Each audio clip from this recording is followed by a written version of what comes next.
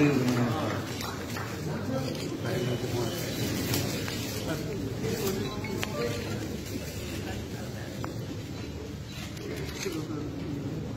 گیا جناب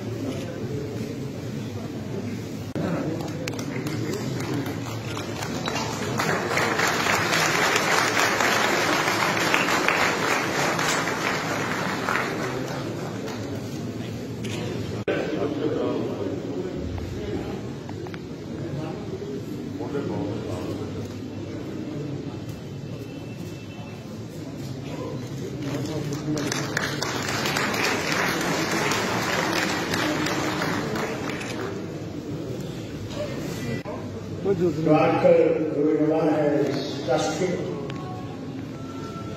کے ساتھ ساتھ جن کی کتاب کا بچڑا ہوا ہے۔ قاضی صاحب کا مبارک ہے اللہ تعالیٰ نے انہیں صحت بخشی ہے۔ بہت بیمار تھے۔ مگر آپ لوگوں کی دعاؤں سے اور جن نے کام کیا ہے اللہ تعالیٰ نے آج ان کو توفیق دی کہ یہاں حاضر ہے اس میں کوئی شک نہیں۔ گجر کو بہت پسماندہ ہے۔ آج بھی پسماندہ ہے۔ غربت میں ہے۔ بیماریوں میں مبتلا ہے۔ ہر طرف سے تکلیف۔ میں خود تھوڑا سا بجا میری ماں بیمار ہوتی وہ گجر اور بالکل نہ خاندہ تو پڑھی لکھی تھی۔ مگر ایک آسٹرین کو ان سے محبت ہو گئی ان سے شادی کی، وہ مسلمان بن گئے۔ اور میری اماں وہاں پیدا ہوئی اس کا مطلب ہے پچاس فیصدی وہ گجر تھے میری ماں نے پھر سے شادی کی تو میں پچیس فیصدی گجر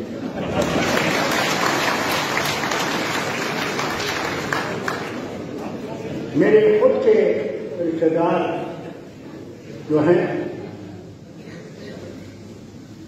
اکثر ناخواندہ ہیں۔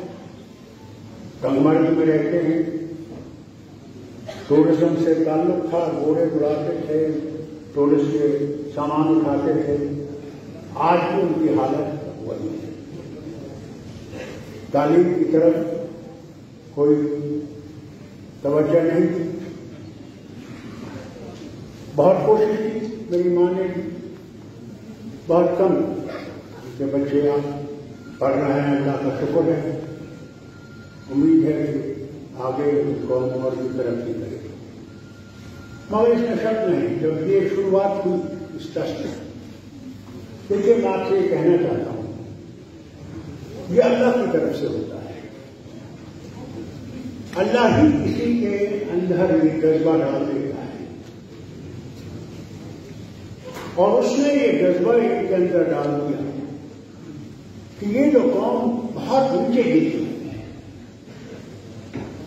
ہر ہر ایک نے کو دبانے کی کوشش